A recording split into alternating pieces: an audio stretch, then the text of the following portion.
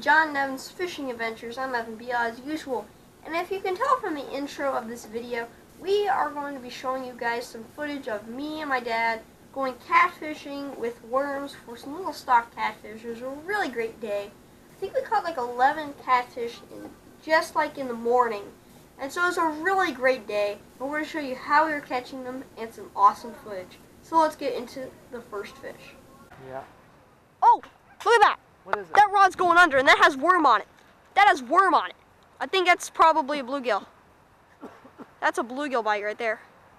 And this has worm on it, so it can't pull it under. Got him.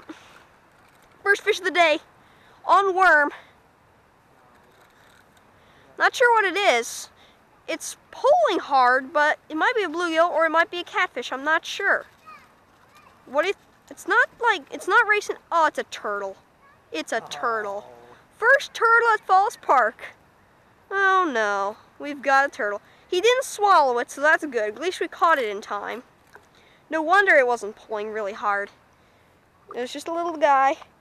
Oh my gosh, what kind of turtle is this? Because I'm not a, uh, I'm not a uh, reptilian expert, but got a little turtle here. What kind is this? Okay, so you just saw me catch a turtle. And the catfish will be coming later in the video. But before we get into the catfish, I just want to show you guys what we're using for tackle. We're using two kinds of reels, spin cast and spinning. Um, I'll talk about one of the rod and reel combos that we're using later in this little section. But the line, we're just using 6 8 pound line, 6 pound, 8 pound line, with some pear-shaped weighted floats, some weights underneath them, a small hook, and a worm.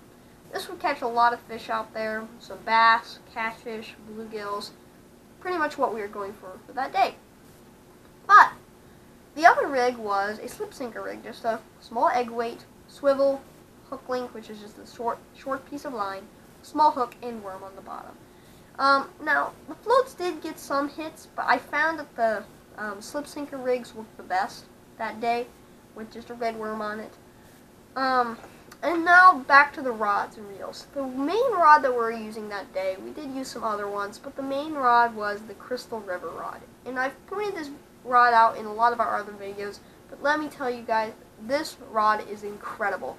It's ultra light and it's a fly rod. So you get a fly reel and a spinning reel all in one package. It converts from a fly rod to a spinning reel, spinning reel to fly rod. You get the idea. So you have a spinning reel and a fly reel in one. So fly setup and spinning setup. And it's ultralight, so it makes these small catfish feel like giants. So if you like catching fish that are about this size that we're catching in the video, highly recommend getting the Crystal River rod. It's only about $30 on Amazon. I'll link an Amazon link in the description so you can buy it yourself. It's a great holiday gift. But anyway, let's get back into the video where we actually catch our first catfish of the day. Oh! Something's moving with this line. No, something's moving this line, and I don't see the float. Oh, it's a nice fish. It might be a panfish. It's tugging. First fish of the day. Oh. oh, it's tugging like a catfish. I hope it's not a turtle. What's on there? A worm under a float. Okay, the float. It's oh no, it's not turtleish. It's tugging. That thing's tugging. Oh, look at that. That that's a catfish. Oh, oh yes, yeah. First fish of the day. Nice little channel. Oh, it's snagged. It's a snag. I think yeah, it's a snagged fish. But he went for it. A little baby. Get the net. Over six pounds. Yeah. Let's pull him out. Little baby catfish on a worm. He went for it, but I think he he got. No, I can do it. We'll set him on the ground so I can grab him. So, there we go, there he goes, there, there he is, there he is, there he is. He's squeaking. He's squeaking. These little guys are fairly dangerous when it comes to their spines, so you gotta be careful. There's one of the spines right there, so I wanna let the guy relax. Relax. Relax. There you go. No, hey. Gotta get him behind the spine, like so. That's where you grab them. I got you. I got you. Can't spine me. He's squeaking. I got him. He's un he's unhooked. Nice little half pound catfish. There he goes. And he sw- Catch him on a worm? uh worm, yeah. Bottom or? Um, on a float, but it's near the bottom. And that was like immediate. Like, and I, I literally just casted that float out like a couple minutes ago. Okay, so you just saw me catch the first catfish of the day. I know they aren't big catfish, but we are nailing them. Probably caught 11, 12 catfish that day. Um, but while we're watching the catfish being reeled in, I just want to show you guys some worm tips because worms are a great bait for all sorts of fish. Tons of people use them. But I just want to tell you guys some little secret tricks that you can use to make worms work even better. First tip, use red worms. Night crawlers work, but I find that red worms work a lot better for lots more species because they're much thinner and it's easier for the fish to get them in your mouth. That's at least good for bluegills. If you're going for catfish, I would suggest night crawlers, which was what we were using in the video. But if you're going for panfish, catfish, bass, pretty much anything, I would go with red worms. But since we are mostly targeting catfish in the video, we chose night crawlers. Second trick, put some moss in with your worms. If you have lots of worms left from a trip and you want to save them because you might be going fishing really soon, put some moss in with the worms. It makes them last a ton longer. We've had worm boxes last for like two weeks and they're still alive. Sometimes even more lively than when we got them. You just pluck some moss, moss off the tree, put it in there, shut it, and put it in a place where the where um, animals won't get to it. And you will have worms for a long time. And it really does work. Um, third trick is cut a little bit of the worm off. I, in this video, used half worms rather than whole worms because when you cut the worm, even if you cut a little smidgen off of it, what happens is, is all those scent that's inside the worm flows out of it and attracts more fish. If it's got only the holes from the hook in it, it won't release as much scent. But if you just cut off a little bit of it, or cut it in half, you'll have a lot more scent. And it really does work, at least that's what I think. And in theory, it does.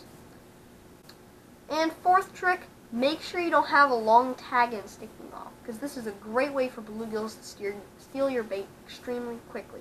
So make sure you kind of ball it up on there, onto the small hook, so that way the bluegills won't steal it.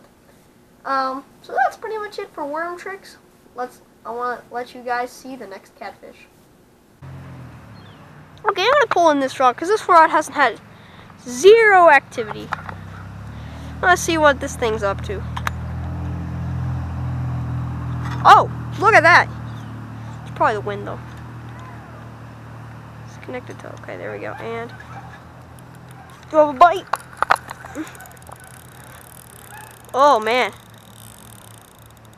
We got a fish on! Fish on! On the spin cast!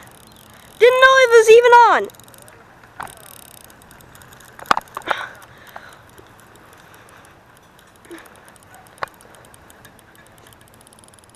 Okay. It's pulling hard. It's a catfish. Second catfish of the day on the spin cast. Didn't swallow it either. Perfect. Worm. Ne right next to the lighthouse. Told you. Honest, just a slip sinker rig. Oh, he swallowed it. He kind of swallowed it. Little baby.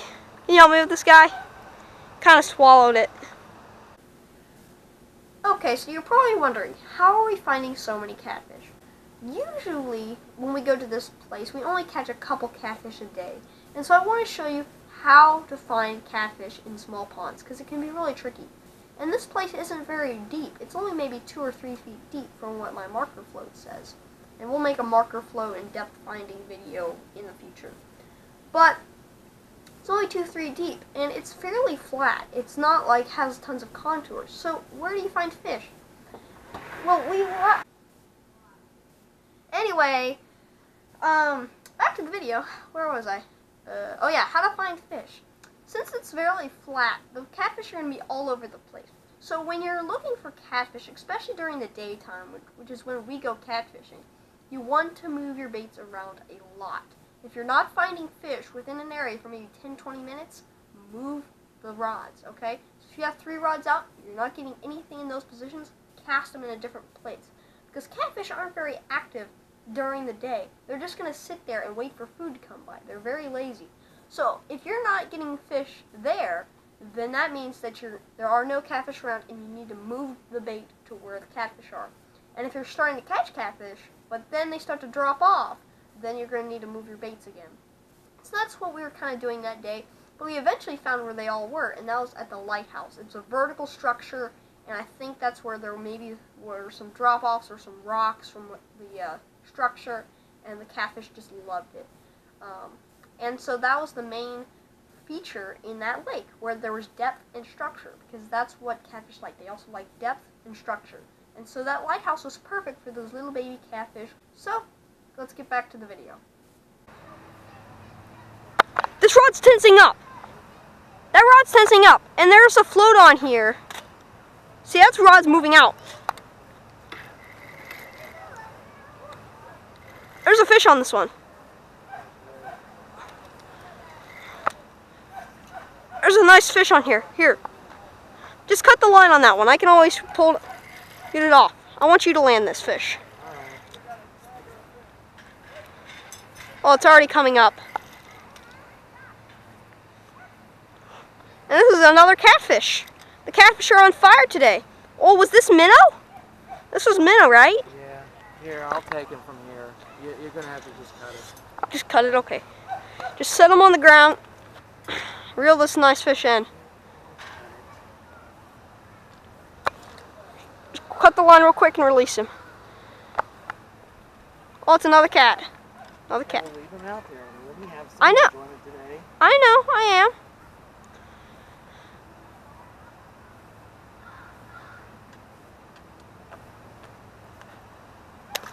There he goes. He's swimming off. Here you go. There's your rod. Yo. This one's my dad's. Nice fish. Woo! That's a nice fish. Right in the corner. That's probably that's probably one of the bigger ones. Bigger than the last the other one I got.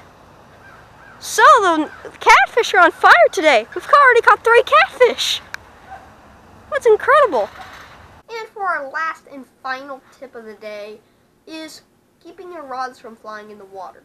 Yes, we've had some bad incidences with rods flying in waters in the past. Um, in a more previous video, which I posted before and I'll link it in the cards and at the end of the video, what happened was, is we had the rod unattended and a two pound catfish yanked the rod out of the rod holder. It was about to fly in the water. And so my dad grabbed it just in time. And so now we've kind of learned our lesson and so you really want to make sure that you secure your rods thoroughly because otherwise, even a small catfish, a two pound catfish, can drag a good sized rod like the Crystal River rod in the water. So how do you stop that from happening? Well, as you see in the video, we were leaning our rods up against this rail to keep people from falling in the water and drowning. Well, that's actually really good because as long as you have a small bit of the rod sticking up, it's like going to be impossible for a you know, catfish to pull it out. If the rod is like this, oh my gosh, it's going to be really easy for it to drag in the water. But if it's just about this much, they might lift it a little bit or bend it, but they're not going to move it anywhere. Uh, but that doesn't mean that, oh, I can just lean my rod up against something and it's not going to move. Just don't do that. Either A, keep the bail open so line can't be taut, so the line can't be taut and the rod can go in.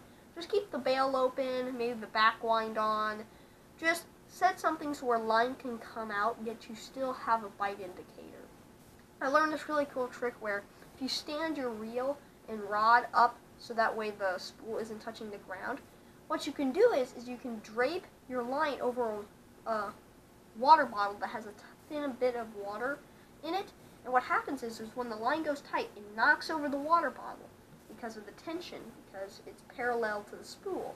But what happens is, is when the water bottle gets knocked over, it releases from the water bottle and the line starts spooling out. I want to show that in another video and I will also link it somewhere on the screen and in the and blah.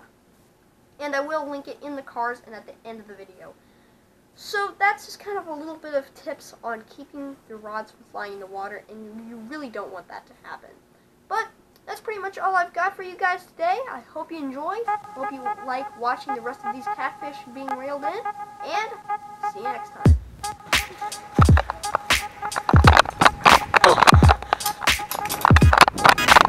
Fish on! Which rod? Oh. On! It bending the rod. A nice fish.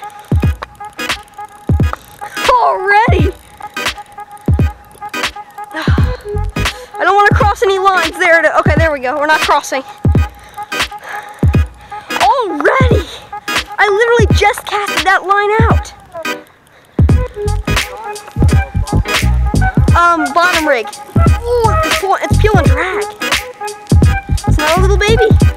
They're stacking on that lighthouse. It's another channel. He's got that one. He's running with it. Not anymore. Yeah, he's got, he's got, got him! Fish on! Fish on! On the ready to fish!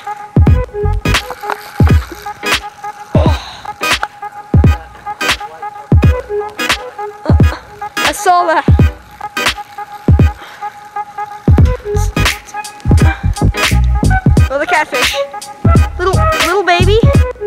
it's a fish. Kind of, I think you might be able to get that guy out. Little baby, but it's a fish. Swallowed it.